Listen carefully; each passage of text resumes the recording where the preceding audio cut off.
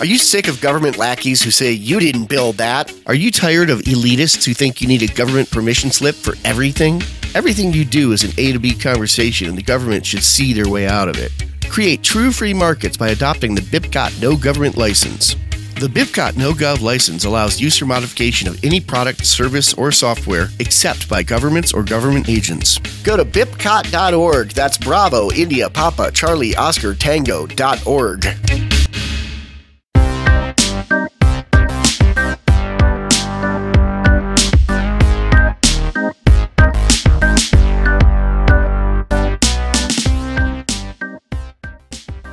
We are just some modern day abolitionists looking to rid the world of the last vestige of slavery statism. It's the Seeds of Liberty podcast with Andrei, Dave, and Jeremy.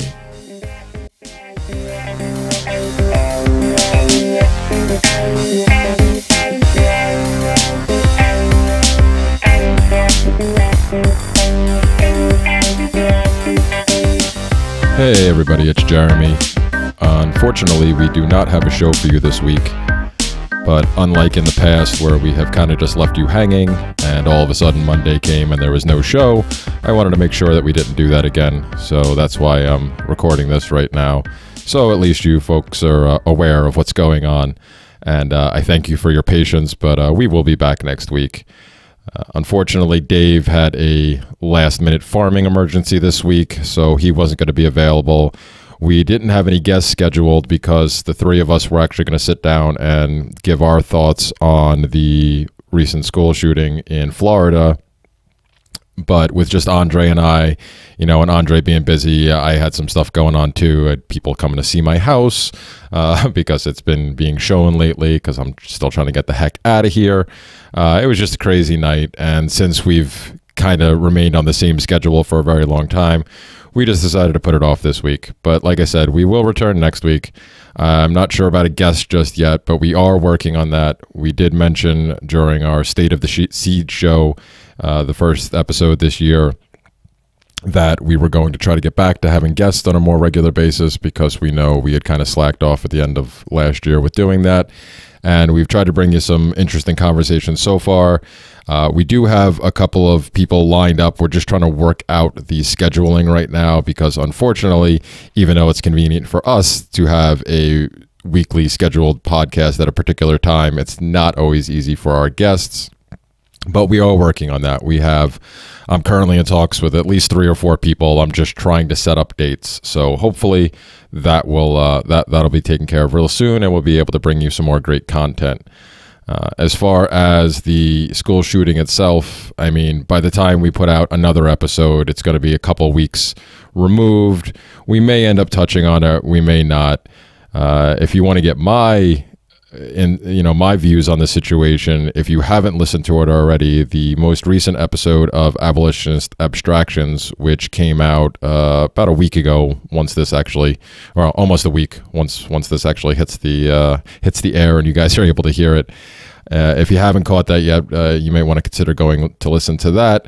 I had a conversation with former guest and actually fill in host for us a couple times, our, our friend Bodie, Andrew Marich and him, him and I actually did a live stream on DLive where we discussed the whole, you know, our, our thoughts on the situation. I, th- I thought that we gave a kind of a different take than you might hear from some libertarians uh, or anarchists. You know, uh, you know, the, the title, of course, of the show was was uh, specifically provocative. Of course, uh, we titled it uh, "Fuck the NRA," and we barely touched on that. Only mentioned it at the end, but it really all started because Bodie had written a piece for Steemit that I read and I, I really thought was kind of interesting and it was a different perspective. So I, I, wanted to get his thoughts on that. And so, anyway, if, if you haven't checked that out yet, please consider doing so. And uh, of course, if you haven't checked out any of the abolitionist abstractions episodes, there's now, I think, 23 of them.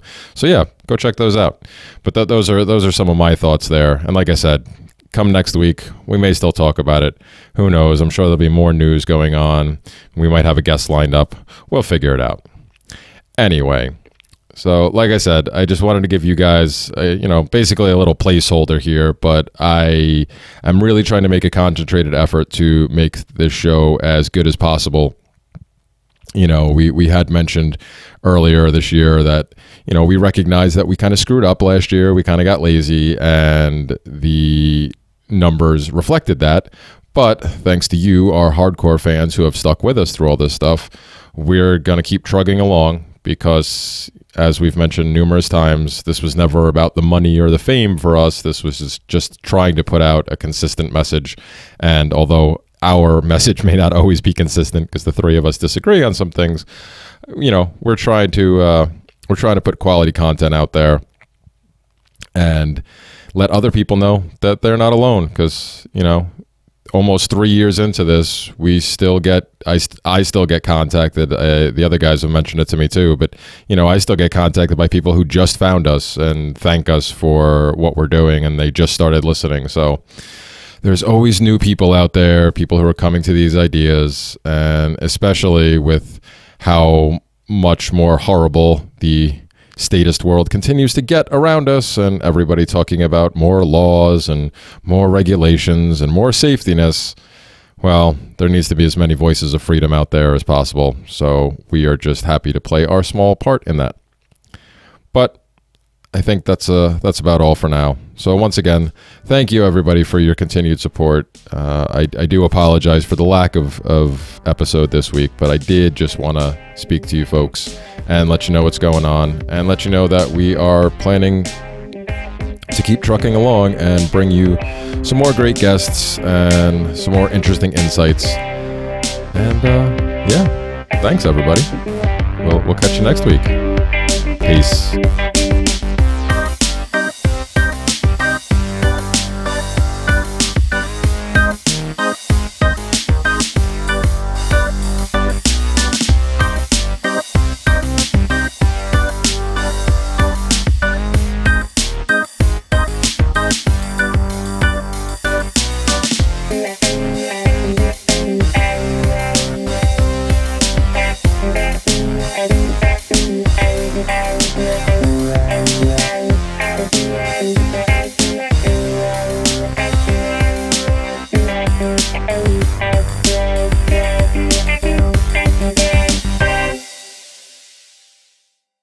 Cell 411 is a great free app for Android and iPhone. It allows you to set up public and private cells for dealing with crime, emergencies, setting up neighborhood watch, activism, and even protecting your kids from bullies on the street or at school. Cell 411 gives your cells turn by turn directions to your location with one touch on your phone.